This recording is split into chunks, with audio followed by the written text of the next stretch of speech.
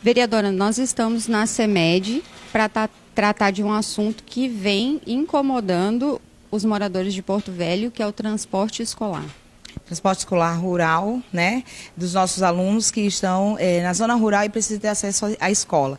Na verdade, a gente não está novamente num assunto, nós estamos, continuamos essa maratona desse mesmo assunto. Chegamos hoje pela manhã, aliás, pela madrugada, da comunidade ali de Extrema e de Vista Alegre do Abunã, já na mesma discussão, nós estamos com um problema muito grave, precisamos é, solucionar. E aí eu cheguei aqui hoje pela manhã na, na CEMED, fomos convidados, inclusive, pelos representantes de Bandeirantes, né, é, para estarmos aqui acompanhando. O, a nossa finalidade aqui é acompanhar essa reunião que foi marcada com o secretário, porque os pais querem ter esse acesso com o titular da pasta que é, é relacionado à educação. Você sabe, Edna, que nós estamos à frente da Comissão de Educação na Câmara Municipal, mas é, é, infelizmente nós estamos assim travados com relação a esse problema da, da, do transporte escolar. Os ônibus chegaram, as vias estão péssimas, alguns ônibus quebrados, algumas é, é, situações de máquinas que não chegam, por exemplo, contado de Bandeirantes, são 25 máquinas. No dia que nós estivemos lá, tinha 11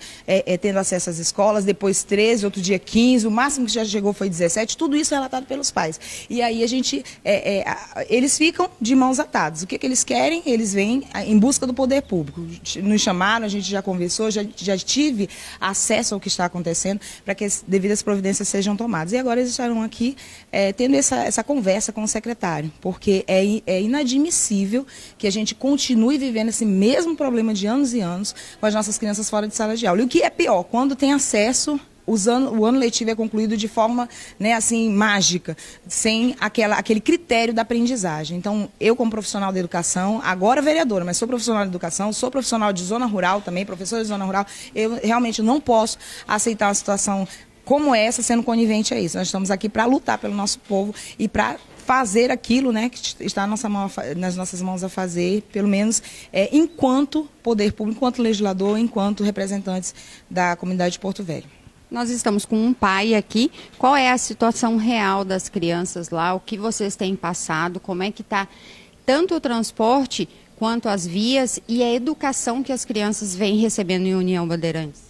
Está de péssima qualidade. O, ônibus, o ano, o ano passado, só para vocês entenderem, eu vou voltar um pouquinho aqui no, no tempo. O ano passado a gente ficou esperando o, o pessoal para resolver. Os nossos alunos ficou dois anos, dois meses, desculpa, dois meses sem estudar.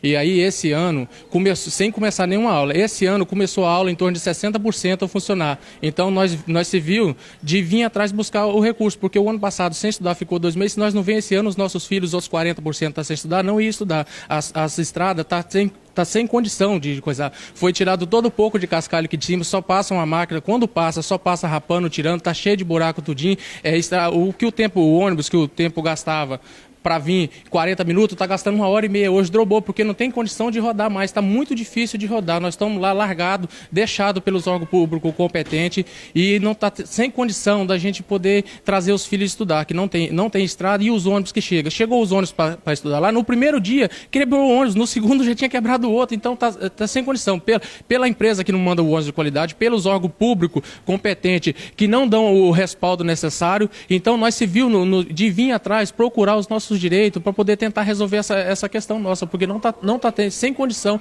de ter. Então, está funcionando 60%. 60% não é o suficiente. Ou funciona 100% ou não funciona nada. Essa é a, é a nossa proposta que nós temos lá para poder funcionar. Essa coisa. Nós vem com essa proposta para o secretário. Ou vai funcionar todo para todo mundo, ou então não vai funcionar para ninguém até que se resolva o problema para funcionar todos. É claro que vocês estão aqui procurando mais respostas, mas qual é a resposta que vocês têm até agora? O que, que foi dito para vocês a respeito do transporte escolar lá na localidade de vocês? Todos os anos a mesma promessa de que os ônibus vão chegar melhores para transportar os nossos alunos, mas todos os anos é a mesma palhaçada. Quando inicia as aulas em todas as outras cidades, a nossa cidade está parada, como o ano passado, que começou no mês de julho. Esse ano nós já estamos agora já finalizando o mês de abril e as aulas estão aí. Começaram, tem uma parte de alunos dentro das salas de aulas, outros alunos dentro de casa, vendo os ônibus passarem em algumas linhas sem poder entrar porque eles não cabem dentro do ônibus. Outras linhas nem o transporte ainda tem. Né? Vocês dependem só do transporte terrestre ou do fluvial também?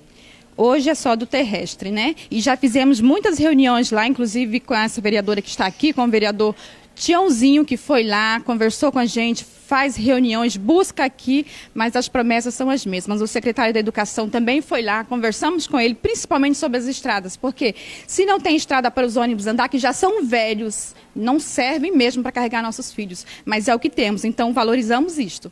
Mas as estradas também não prestam. Obrigada. Qual é a porcentagem de ônibus que estão funcionando, de alunos que estão em sala de aula? Segundo os diretores lá, em torno de 60% a 70%. Esse foi o que o diretor passou para nós lá ontem. Mas acredito que não tem isso tudo não, porque a, a meta lá é de 28 ônibus. Eu rodo, o dia que rodou mais, rodou 15, de 15, 15 a 17, mas sempre roda 11, 12 ônibus. Então eu acredito que está menos de 60%. Mas segundo ele que eles passou, está em torno de 60% a 70%. Vamos continuar acompanhando essa situação e vamos trazer mais informações sobre o andamento desta reunião entre os pais de União Bandeirantes com o secretário de Educação do Estado.